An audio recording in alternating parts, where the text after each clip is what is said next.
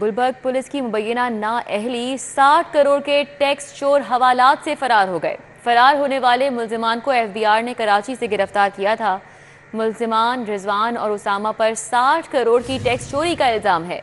मुलजमान police अफसरान और अहलकारों को चकमा देकर फरार हो गए। मुलजमान को कराची से गिरफ्तारी के बाद गुलबर्ग पुलिस के हवाले किया गया था। मुहर्र बिलाल और फरार मुलजमान के खिलाफ मुकदमा दर्ज कर लिया गया है।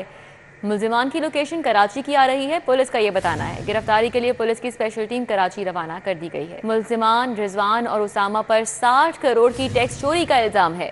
मुलजिमान पुलिस अफसरान और अहलकारों को चकमा देकर फरार हो गए। मुलजिमान को कराची से गिरफ्तारी के बाद गुलबर्ग पुलिस के हवाले किया गया था।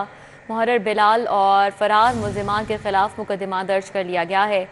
मुलजिमान की लोकेशन कराची की आ रही है। पुलिस का ये बताना है। गिरफ्तारी के लिए पुलिस की स्पेशल टीम कराची रवाना कर दी गई है।